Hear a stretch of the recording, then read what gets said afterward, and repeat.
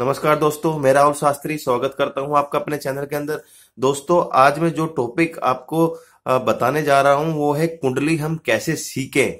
तो दोस्तों, इतनी सरल टेक्निक से मैं आपको समझा सकता हूँ कि आप बड़े प्यार से ही अपनी कुंडली नहीं, बल्कि दूसरे की कुंडली का विवेचन भी करना सीख सकते हैं। मैं आपको गारंटी दे रहा हूँ, जिस मेथड से मैं आपको सिखाऊँगा, बहुत ही जल्दी और सिर्फ़ मेरी दो या तीन वीडियो के अंदर ही आपको सब ज्योतिष का ज्ञान हो जाएगा। सिर्फ़ आपको ये वीडियो ध्यान से देखनी है। तो दोस्तों, शुरू करने से पहले मैं बताऊँगा, आपको छह स्टेप का याद रखना है। वो छह स्टेप क्या होते हैं? पहला भाव, दूसरी राशि, तीसरा ऊंच और नीच के ग्रह चौथे डिग्री, पांचवा मित्र मित्र और शत्रु के बीच में क्या डिफरेंस है और ग्रह, ग्रहों का फल। तो देखिए दोस्तों, अगर आपने छह स्टेप सीख लिए तो आप डेफिनेटली जो है सब कुछ जान जाएँगे। और कुंडली के सबसे महत्वपूर्ण है दो चीज़, यानी स्टेप वन जिसे भाव कहा जाता है कुंडली के अंदर, और जो दूसरा, और राशि और राशि के स्वभाव। तो ये दो पॉइंट आज मैं आपको कवर करने जा रहा हूँ। तो देखिए, सर्वप्रथम आपको समझना पड़ेगा कि कुंडली क्या है। देखिए, कुंडली के बारह भाव होते हैं। और बारह भाव के अंदर ये पहला भाव है, ये दूसरा, तीसरा, चौथा, पांचवा, छठा, सातवां, आठवां, नौवा, दसवां, ग्यारहवा, बारहवा। तो इस तरह से बारह भाव होते हैं और कोई भी राशि, ये बारह राशि जो है, इनके, इन भाव के अंदर आती है और यहाँ से स्टार्ट होती है। तो जो भी राशि यहाँ से स्टार्ट होगी, वो ये उस लगन के वो जातक होंगे। वो मैं दूसरा स्टेप है, फ़िलहाल मैं आपको भाव के बारे में बताता हूँ। तो देखिए, किसी भी कुंडली के अंदर बारह भाव होते हैं जो मैं आपको बताने जा रहा हूँ, जो पहला जो भाव होता है, ये लगन का होता है, ये होता है आपका खुद का। ये आपकी पर्सनैलिटी के बारे में है, आपके खुद के बारे में है, आपका बोलने का तरीका कैसा होगा, आपकी पर्सनैलिटी कैसी होगी, आपका स्वभाव कैसा होगा, आपका चरित्र कैसा होगा तो ये मोटा मोटा समझ लीजिए, ये टोटल आप है, ये सिर्फ़ आपके बारे में ही बताया जा रहा है। जो दूसरा स्थान होता है दोस्तों, ये धन का स्थान माना गया है। इससे आप धन के बारे में भी पता कर सकते हैं। साथ साथ कुटुंब के बारे में पता कर सकते हैं। कुटुंब के साथ आपकी बनेगी, नहीं बनेगी, अपने परिवार के बारे में। और साथ साथ इसके साथ आपका यहाँ से देखा जाता है वाणी का, आपकी वाणी कैसी रहेगी? तो ये जो दूसरा स्थान होता है, इसे धन का स्थान बोला जाता है। इसी प्रकार जो तीसरा स्थान होता है कुंडली के अंदर, ये परिश्रम का होता है, बहुत मेहनत का होता है। और साथ साथ छोटे भाई बहन का भी यहाँ से परिणाम देख सकते हैं। इसी प्रकार जो चौथा होता है, ये मान सम्मान का भाव होता है। इसके अंदर आपको हर एक बेसिक सुख सुविधा सब भौतिक सुख सुविधा मिलेगी। जैसे कि मकान, प्रॉपर्टी और वाहन, ज़िंदगी के लिए जो भी आपको ऐसो आराम के लिए जिस चीज़ें चाहिए, वो यहाँ से देखेंगे। साथ साथ आपको यहाँ से माता का भी पता लगा सकते हैं।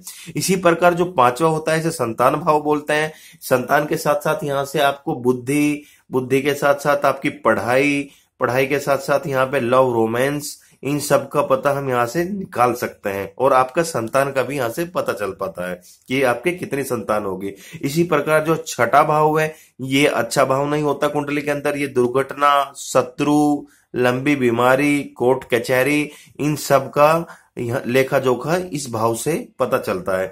जो सातवां भाव होता है, मित्रों, ये देखा जाता है विवाह की दृष्टि से बहुत महत्वपूर्ण है। अगर आप मेल है तो फीमेल का, अगर आप पत्नी है तो पति का। तो इस प्रकार ये जो भाव है, व्यक्त करता है। इसके साथ साथ यहाँ से पार्टनरशिप का भी हम पता लगा सकते हैं। इसी प्रकार जो आठवां है, ये मृत्यु भाव बोला गया है। मृत्यु के साथ यहाँ से मृत्यु तुल्य कष्ट देखे गए हैं। साथ साथ यहाँ से गहरी खोज भी देखी गई है।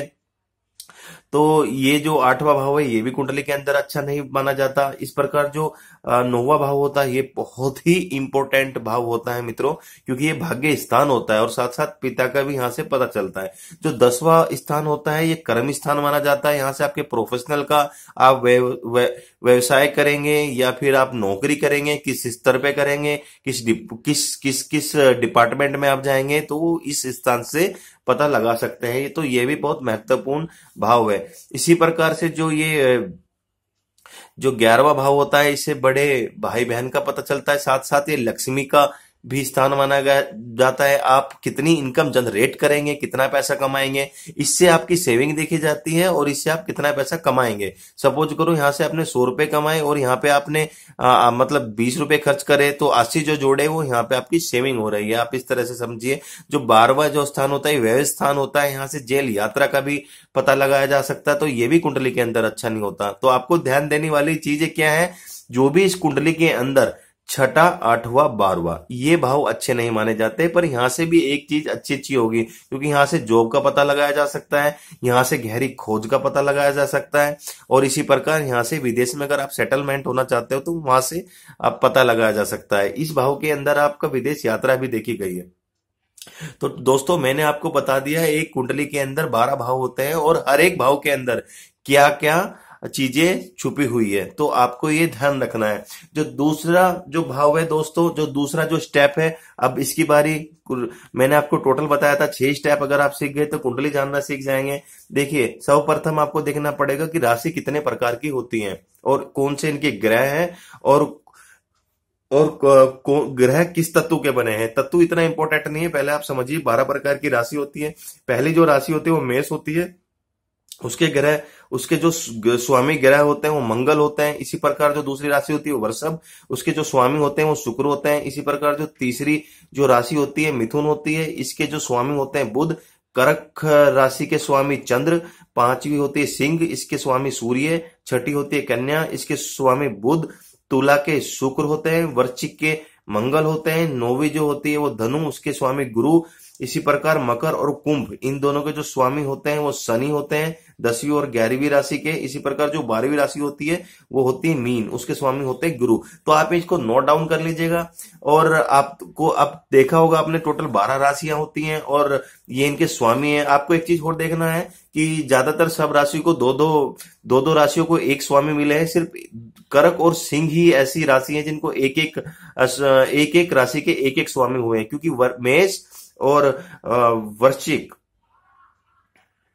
इन दोनों राशियों के स्वामी मंगल, इसी प्रकार वृषभ और तुला, इन दोनों राशि के स्वामी शुक्र, मिथुन और ये आपका कन्या, इन दोनों राशि के स्वामी बुध और इसी प्रकार धनु और मीन, इन दोनों राशि के स्वामी गुरु, मकर और कुंभ के स्वामी शनि। सिर्फ़ कर्क और सिंह को ही एक एक एक एक राशि को एक एक स्वामी मिले हैं। तो आपको ये ध्यान रखना है, टोटल बारह राशि होती हैं और कौन कौन से उसके स्वामी होते हैं। साथ ही साथ आप ये भी ध्यान कर लीजिएगा कि किस तत्व की बनी है। जैसे जो मेष है मेष राशि अग्नि तत्व की बनी है। अग्नि तत्व में कौन कौन सी आई? मेष अग्नि तत्व की है, इसी प्रकार सिंह अग्नि तत्व की है, इस प्रकार धनु अग्नि तत्व की है, जो वर्षभ है वो पृथ्वी तत्व का राशि है। इसी प्रकार आपको देखना पड़ेगा, ये इनके तत्व में मैंने लिख दिए, आपको ये याद करने पड़ेंगे, आप याद कर सकते हैं। इसी प्रकार आप देख सकते हैं कि इनका स्वभाव कैसा होता है, जैसे मेष, वो चर चर स्वभाव की राशि मानी गई है, जो वर्षभ है, वो स्थिर स्वभाव की मानी गई है, जो मिथुन, वो देव स्वभाव की राशि मानी गई है। और ये इनका कर्म सेम रहेगा। जैसे पहली जो राशि है वो अग्नि, दूसरी जो राशि होती है वो वृषभ तत्व की पृथ्वी तत्व की बनी है, जो तीसरी राशि होती है वो वायु तत्व की बनी है, जो चौथी राशि होती है जल तत्व की राशि बनी है। तो इस प्रकार आप याद रख सकते हैं, इनके स्वभाव और जो तत्व है वो कर्म के अनुसार चलते हैं। तो दोस्तों, आपको दूसरी चीज़ याद हुई, साथ ही साथ मैं आपको इनका नेचर बता देता हूँ। देखिए, जो मंगल का जो नेचर होता है, ये आपका आत्म बल है, जो आपको करने की जो इच्छा होती है।